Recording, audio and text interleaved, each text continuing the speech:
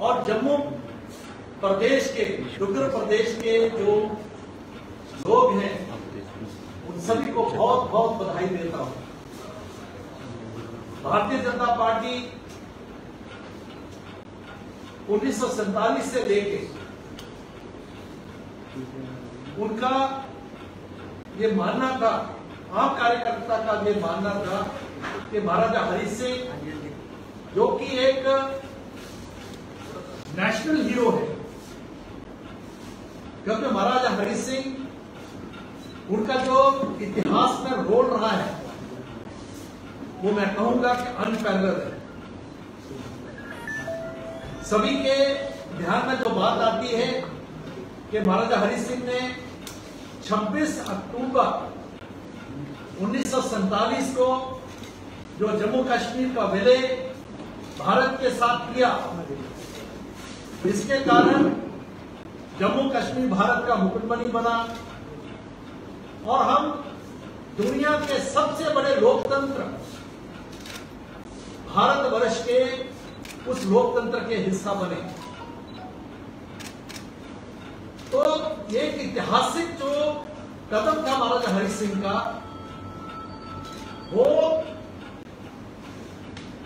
जो है उसको आज तक भारत में रूल करने वाली जितनी भी पार्टीज़ थी, विशेष तौर पर मैं कहूँगा कि कांग्रेस कांग्रेस और नेशनल कॉन्फ्रेंस और बाकी जो पॉलिटिकल पार्टी कश्मीर केंद्र नहीं थी पीडीपी बाकी जो लोग थे, उन्होंने महाराजा हरि सिंह को, उनका जो स्थान है, उनको जो सम्मान मिलना चाहिए था, वो षड्यंत्र के तौर पर नहीं दिया जम्मू के लोगों ने, जम्मू के जो उन्होंने बहुत संघर्ष किया कि महाराजा हरि सिंह जी को वो स्थान मिले। लेकिन यह हमारा सौभाग्य है भारतवर्ष का मैं इसको सौभाग्य कहूँगा कि 5 अगस्त 2019 को जब प्रधानमंत्री नरेंद्र भाई मोदी जी के नेतृत्व में हमारे गृह मंत्री माननीय अमित भाई शाह, उनकी योजना और प्रधानमंत्री जी का जो उनके नेतृत्व में जो एक फैसला हुआ जम्मू कश्मीर में, तीन सौ सत्तर गया थर्टी फाइव डे को समाप्त किया और जिस प्रकार से पूर्ण विलय हुआ, उसके मद्देनजर जो यहाँ पर जो हमारे नेशनल सिंबल थे। नेशनल हीरो थे। जिसमें महाराजा हरि सिंह आते हैं, उनको मान्यता मिली और उनको जो, उनको सम्मान मिलना चाहिए था, उसकी शुरुआत हुई। राष्ट्र बंधुओं। हम सभी जानते हैं कि किस प्रकार से महाराजा हरि सिंह, उनको जम्मू कश्मीर से बड़ा षड्यंत्र करके पंडित जवाहरलाल नेहरू और शेख अब्दुल्ला की जो मिली भगत थी, उसके मद्देनजर जम्मू कश्मीर से अपना जो उनकी मात्र, उनके जो अपना घर था, यहाँ से उनको स्टेट बदल किया गया एग्जाइल किया गया। आज वो लोग, मैं देख रहा था कि कांग्रेस के लोग बड़ा क्लेम कर रहे थे छोटे भैया नेता जो कांग्रेस के हैं। आज कश्मीर में जिस प्रकार से लोग जो है आज भी इस घोषणा से बड़े जो है, दुखी है, जो लोग वो है जो लगाव बात को अभी भी देते हैं, जो है, उसको सपोर्ट करते हैं। तो उनसे मैं पूछना चाहूँगा कांग्रेस से, नेशनल कॉन्फ्रेंस से। बाकी जो लोगों से मैं पूछना चाहूँगा कि वो बताएँ आज वो क्लेम करते हैं कि नहीं जी, हमने किया हमने किया। जो हमारा भी योगदान था, कांग्रेस के, जम्मू के नेता इस प्रकार की बात कर रहे थे मैं पूछना चाहूँगा कि महाराजा हरि सिंह को जो आपने स्टेट बदल किया जहाँ से एग्जाइल किया, महाराजा हरि सिंह ज़िंदा वापस नहीं आए। उनकी अस्थियाँ आई जम्मू में। यह जम्मू के लोग भूले नहीं है कि आपका जो आपका जो षड्यंत्र था, वो महाराजा हरि सिंह, लेकिन महाराजा हरि सिंह ने, वो सिर्फ़ सिर्फ़ उनका यही मात्र जो कंट्रीब्यूशन ये बहुत बड़ा कंट्रीब्यूशन था, जो विलय करना। महाराजा हरि सिंह बहुत बड़े समाज सुधारक प्रोग्रेसिव रूलर थे।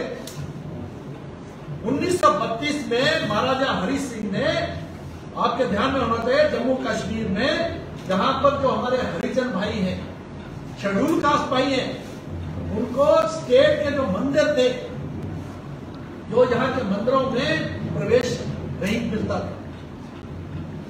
महाराजा हरि सिंह ने वो कानून पास करके ऑर्डर पास करके उन्होंने हरिजनों को स्टेट टेम्पल्स में एंट्री दी।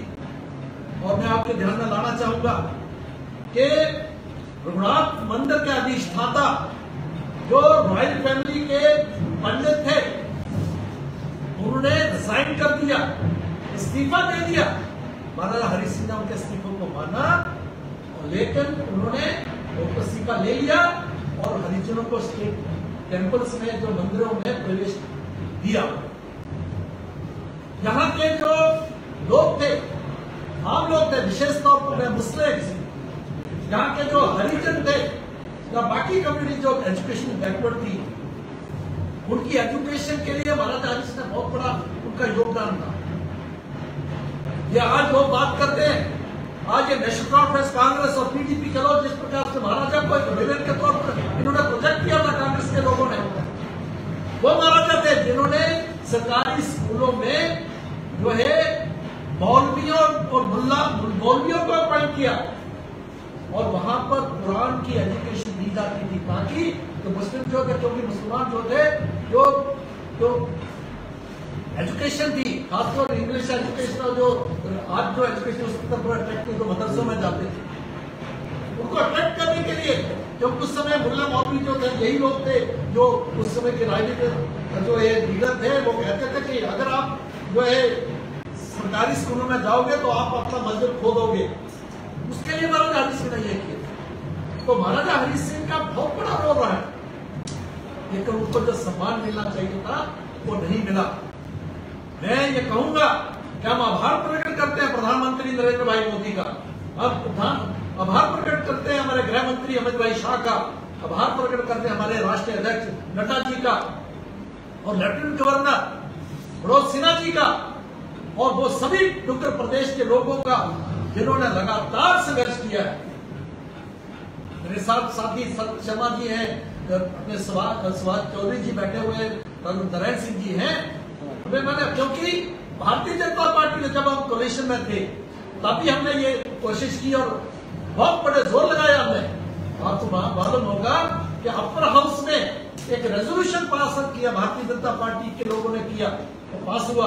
हमारी जहाँ म्यूनसिपल कॉर्पोरेशन है इसको रेजोल्यूशन को पास किया है। और कैबिनेट में कैबिनेट के अपने चौधरी श्यामलाल जी हमारे साथ बैठे हुए हैं।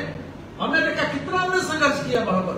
लेकिन क्योंकि उसकी जो है पीडीपी इसको मानने के लिए तैयार नहीं थी और इस प्रकार की बात थी, लेकिन उस समय वो कामयाब नहीं हो सके यहाँ और शायद यही कारण बना, यही कुछ कारण थे जिस कारण पाँच अगस्त दो हज़ार उन्नीस जो है वो आया।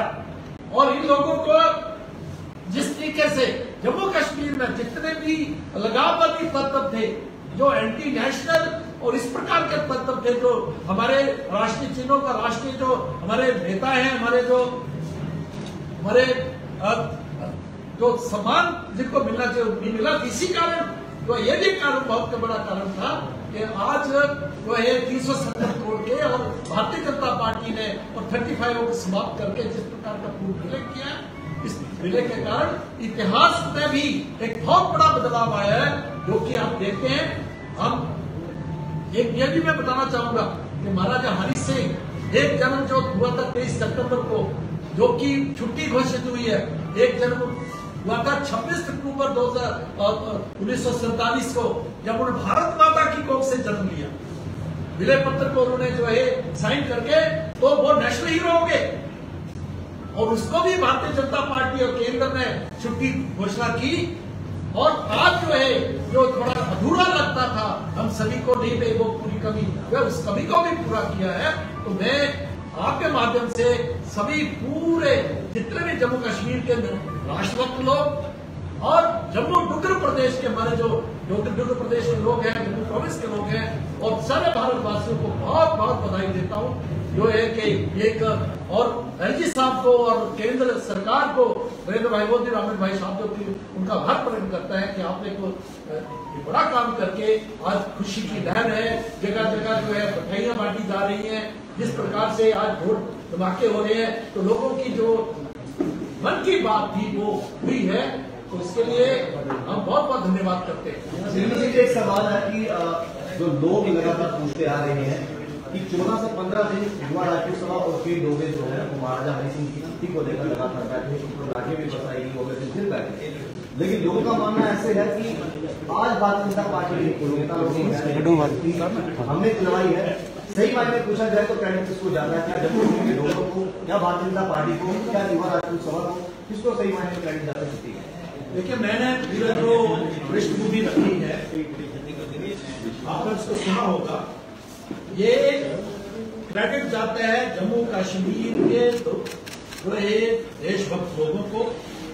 वो लोग जो लगातार उन्नीस से इसके लिए लगातार संघर्ष कर रहे थे प्रजा परिषद से लेके जब एक विधान एक प्रधान एक निशान से लेके सोलह लोगों की शहादत डॉक्टर श्यामा प्रसाद मुखर्जी की शहादत और जो जिस तरीके से डॉक्टर नारायण सिंह जी भी थे हमारे अमृत क्षेत्र सभा के अध्यक्ष थे और जिस प्रकार सरकार का वो लगातार संघर्ष के बाद जो है जो है ये देखने को मिला है। वो बड़े बड़े बड़े लोग जो है मैं कहूँगा जो लोग जो है आज क्लेम कर रहे हैं वो पावर में थे तब। है युवा राज्यसभा का उनका, है उन्होंने जो है उन्होंने धरना दिया है, लेकिन सभी लोगों के प्रयास से हुए हैं। हम किसी को, किसी का कम इसमें, योगदान का किसका ज़्यादा है, इसमें हम जो है मानते नहीं है। हम सभी का, जितने भी लोग हैं उत्तर प्रदेश के लोग हैं, जो महाराजा हरि सिंह को अपना आदर्श मानते हैं, हीरो मानते हैं सभी का सर क्रेडिट कह रहे हैं सिर्फ़ यही सवाल आपसे कर रहे हैं कि क्रेडिट ले रही है। क्रेडिट हालाँकि तमाम पार्टी ने कहा इस मर्डन को क्रेडिट को लेने पहुँच गई पार्टी ने? पार्टी वहाँ पर जब छुट्टी हुई तो उनका हैं कांग्रेस कांग्रेस पार्टी कांग्रेस को मैं पूछूँगा। मैं पूछूँगा। कांग्रेस को मैं पूछूँगा तो महाराजा हरी सिंह को आज आप क्रेडिट ले रहे हो। जब उनको स्टेट से जम्मू कश्मीर से बाहर भेजा गया था जैल दिया गया था तब कहाँ गया आपका सबसे बड़ा नेता जवाहरलाल नेहरू यहाँ थे, शेख अब्दुल्ला यहाँ पर थे, और दोनों की जो है षड्यंत्र में कारण महाराजा हरि सिंह को जो है बाहर किया गया, उनकी अस्थि आई थी यहाँ। आज आप क्रेडिट लेते हो बहत्तर साल आप थे, क्यों नहीं थी छुट्टी? आप तो जो है पाँच दिसंबर को देते थे आप। और तेरह जुलाई तेरह जुलाई को आप छुट्टी देते थे, जबकि जो है सेंट्रल कश्मीर के ऊपर जो है मुसलमानों ने अटैक किया, उसमें कुछ लोग मारे गए, जिसको शहीदी दिन आप कहते थे। आज आप क्रेडिट लेते हो। शर्म आनी चाहिए ऐसे लोगों को। सवाल सवाल ये भी बनता है, सवाल ये भी बनता है, सर, कि जब बच्चों पर लाठियाँ चलाएगी, जब पुल को एक धारा लगाएगी तब जब उन लोग बच्चों पर लाठियाँ चलाएगी, तब जब भाजपा के नेताओं से पूछा जाता था, तब कोई भी भाजपा का नेता सामने आकर कुछ भी बोलने के लिए तैयार नहीं था। सिर्फ़ एक ही बात कही जाती थी कि हमारी एलजी मनोज सिन्हा जी से बात चल रही है। लेकिन आज जब छुट्टी अनाउंस हुई तो युवा राजपूत सभा के साथ सिर्फ़ भाजपा के ही नेता जो है दिखे। सवाल इस पर उठ रहा है। भाजपा का नेता जो थे, उनको क्यों नहीं जाना चाहिए? हमने भाई साहब खून दिया है जब कश्मीर लेकिन सर जब दारा एक सौ चौवालीस लगाएगी तब तो भाजपा के नेताओं को प्रश्न कर दिया ना सुनिए। देखिए उन्नीस से लेके डॉक्टर श्यामा प्रसाद मुखर्जी से लेके आपको पता होना चाहिए कि महाराजा हरि सिंह का प्रजा परिषद ने पूरा उन्होंने सहयोग किया था। कैप्टन दीवान सिंह जी थे वो पूरी कहानी सुनाते थे। ठीक है? तो भारतीय भाजपा प्रजा परिषद से लेकर जब भाजपा तक जो है हमने संघर्ष किया है। और आज छुट्टी, कांग्रेस के लोग, नेशनल कॉन्फ्रेंस के लोग, पीडीपी के लोग आज तक नहीं दी गई। अगर आप क्लेम करते हो, और आज आप इस प्रकार की जो है राज्यसभा ने संघर्ष किया है, उसमें कोई उनको नहीं, इसलिए तो वो भी पगड़ियाँ पहनी थी, उन्होंने जो है, उन्होंने भी रणजीत साहब को भी पगड़ी बनाई, हमारे जो हम लोग हमको भी पगड़ी बनाई। वो मानते हैं। लेकिन ये राजनीति कर रहे हैं, राजनीति रोटियाँ सेक रहे हैं। तो इसलिए इन बात को इनकी कोई कोई सुनता नहीं है। और सबसे बढ़िया है, आज इस प्रकार की कंट्रोवर्सी की आवश्यकता नहीं थी। कांग्रेस जो है, क्योंकि वो कहते हैं ना, कि जब है कि वो रोग तो जो है, उसमें जो जो प्रोविज़न क्रिएट करने के लिए बात करें वो जो है, उनका कोई हक नहीं बनता कि महाराजा हरि सिंह के बारे में बात करते हो, इस प्रकार की बात करें। आप तो आप तो हथियारे हो। कांग्रेस तो उन्होंने महाराजा हरीश सिंह को। कितना बड़ा जो है हमें हुआ था कि उनको यहाँ से बाहर किया गया? और शेख अब्दुल्ला के कहने पर नेहरू ने किया दे कांग्रेस एनसीपीडीपी के नेता है जहाँ पर चीफ मिनिस्टर रह चुके हैं। फॉर्मर चीफ मिनिस्टर उनके मुख से एक भी शब्द जो है महाराजा जी की छुट्टी को लेकर परमाणु की उन्होंने ट्वीट हालाँकि ट्विटर पर हमेशा एक्टिव रहते हैं लेकिन कल से एक भी ट्वीट समझ नहीं जब ये अभी आप लोगों ने माननीय निर्मल सिंह की बात सुनी थी कि 24 जनवरी को 2017 को अपर हाउस में ये पारित हुआ था। और जो दो पॉलिटिकल पार्टियों ने, जो बाहर निकली थी संसद के बाहर निकली थी, वो कांग्रेस और एनसी थी आज वो पार्टियाँ कैसे किस मुँह के साथ ट्वीट करेंगी? उन्हीं के कारण, और उस वक्त अपर हाउस में पारित हुआ था। और अगर भारतीय जनता पार्टी को पीडीपी के साथ बाहर आना पड़ा तो कारण ये ये भी था, क्योंकि आने वाले हमारे डिप्टी चीफ मिनिस्टर साहब उस वक्त चाहते थे कि अपर हाउस में पारित हुआ है। तो कैबिनेट में भी पारित होना चाहिए कैबिनेट में भी पास होना चाहिए जिसके चलते कुछ डिफरेंसेस आए थे। और विपरीत डिफरेंसेस किए जाते समझिए बहुत सवाल यहाँ पर ये उठता है कि 2000 2019 से सर एलजी मनोज सिन्हा यहाँ पर थे और सेंटर में सरकार जो है भाजपा की सरकार थी। अगर आप सेंटर को सारा श्रेय दे रहे हैं और बोल रहे हैं तो ये 2020 2021 2022 में अनाउंसमेंट क्यों है। आप इतना बड़ा ओकेजन है खुशी की लहर है, उसको बनाना चाहिए। इसको उसको बनाना चाहिए इस प्रकार की कंट्रोवर्स में नहीं पड़ना चाहिए। जो राजनीतिक हैं, सारी दुनिया जानती है उनका क्या होगा।